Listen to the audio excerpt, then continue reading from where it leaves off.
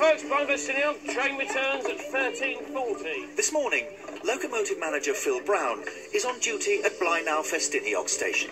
No, I thank you.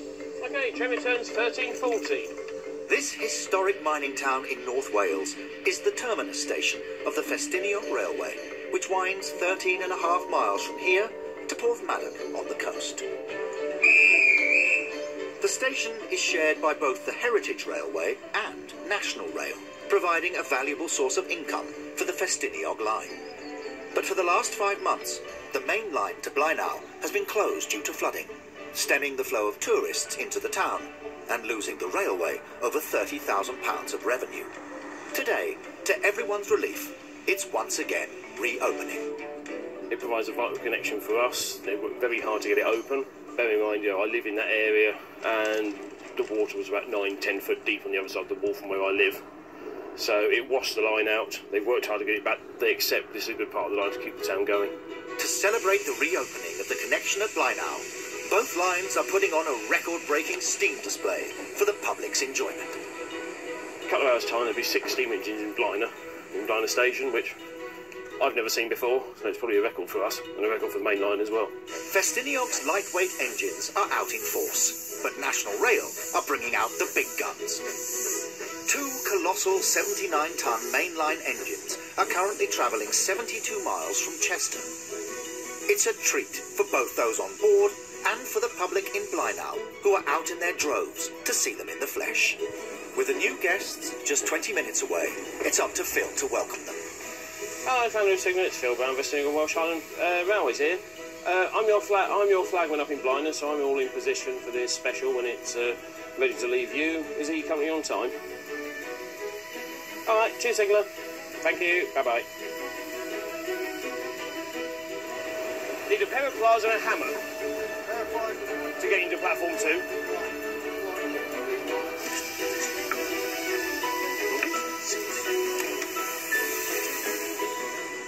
Just going to let you across, and then we've got a mainline train coming in, so I'm going to have to shut the gates, I'm afraid.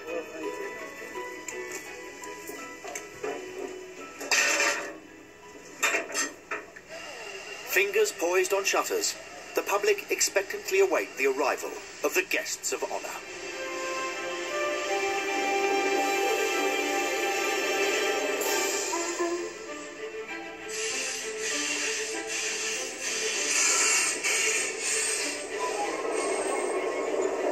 Have you'd be here. You all right?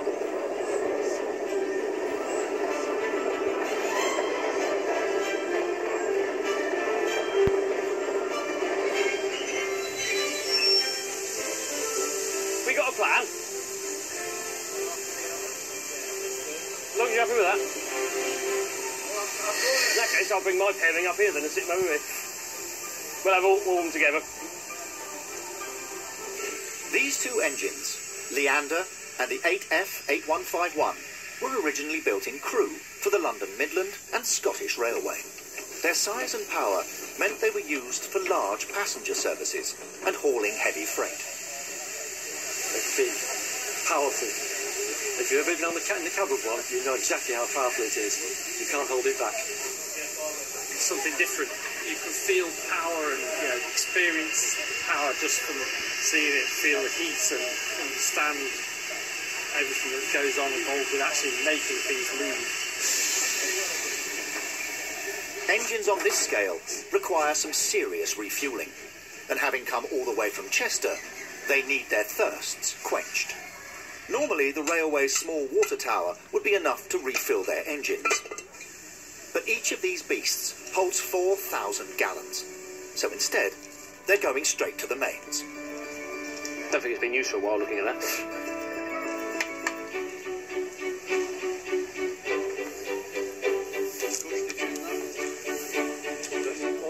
No, we're not blocked yet. I'm just waiting for it, sir.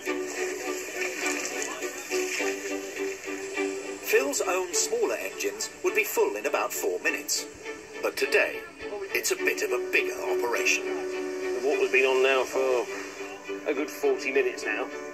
So they're probably about half full.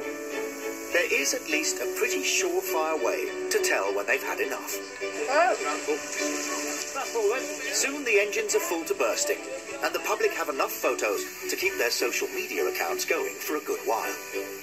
But there's just enough time for a quick photo call for the crew. Even I'm allowed a little bit of fun from time to time. Bit bigger than valve gear's still the same, principle's still the same, just everything's a little bit larger to be honest.